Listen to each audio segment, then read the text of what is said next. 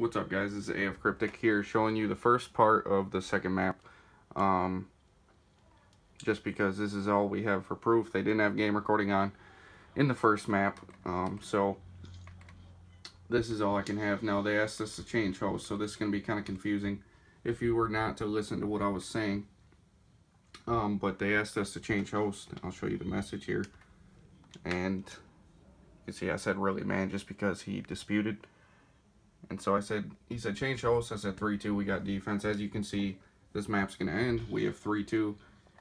I'm going to go ahead and just fast forward to the end here.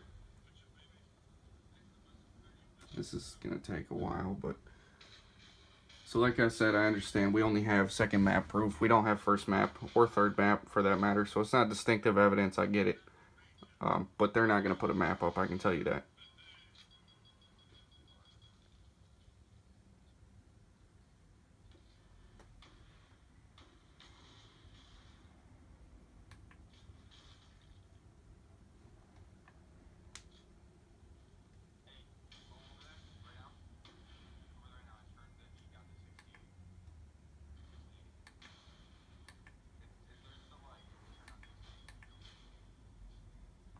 All right, so there's 3-1.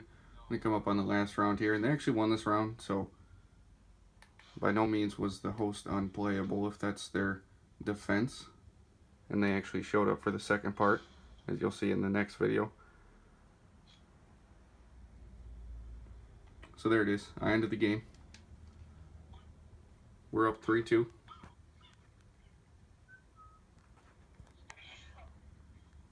Now I know you see the one bar there from him um, we had the same problems on their host. It was just going to be one of those location kind of problems. So um, it's not like it, it, came to any point where they left the game or anything like that because it got to that point. And clearly they won two rounds, so it's not unplayable. It's pretty even kill-wise. So hopefully this is enough. I understand that we only have a second map. We don't have a first map. That's clearly not distinctive evidence. I get it. Um, but they're not going to put up a single map against us that they won. And um, I hope that's enough. All right, thanks.